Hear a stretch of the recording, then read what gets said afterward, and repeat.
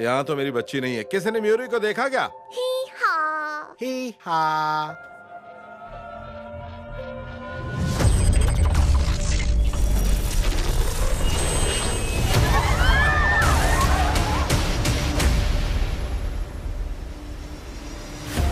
तीस साल बाद हमें भविष्य में एक जंग लड़नी है। मज़ाक कर रही क्या? हमारे दुश्मन इंसान नहीं है। हमें आपकी मदद चाहिए। आप वापस तो आएँगे ना? मैं वापस ज़रूर आऊँगा। लेकिन ये हो क्यों रहा है? उस टीचर को क्यों बदला?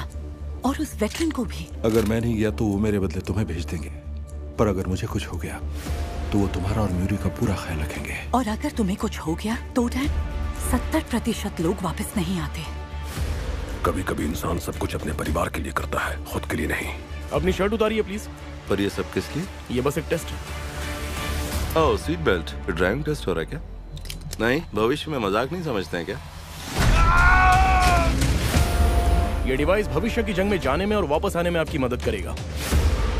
जंप के लिए एक मिनट। रुको मैं बताता हूँ। घुमा दो और अंदर। इतने शांत कैसे हो? लंबी कहानी है। पहले फौज में थे क्या?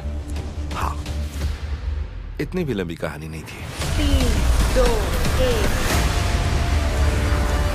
ग्यारह महीनों में भविष्य में। पृथ्वी से मानव जाति को नष्ट कर दिया जाएगा। अगर आपने मदद नहीं की तो।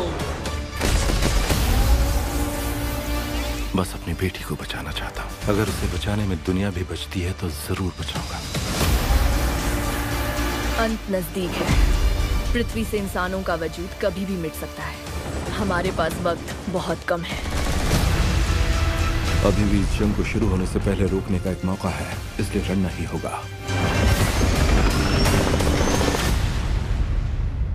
तुमसे मिलकर अच्छा लगा।